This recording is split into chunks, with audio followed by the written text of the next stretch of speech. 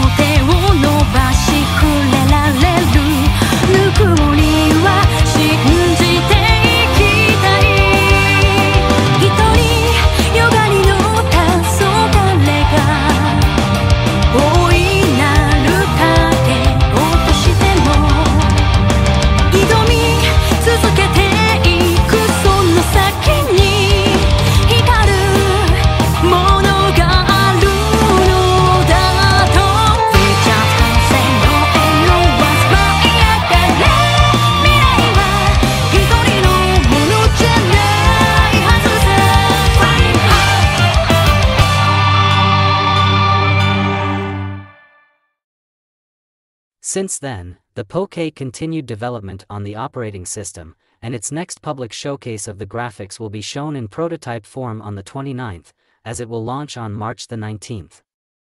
Now, here's some breaking news about the Suzanne Ridgewell case. Suzanne Ridgewell should definitely know better.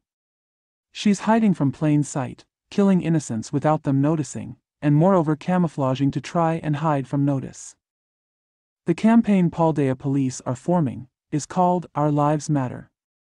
Paldea is dying, and 4 Poke will try their best to stop Suzanne, as this whole thing is a game changer.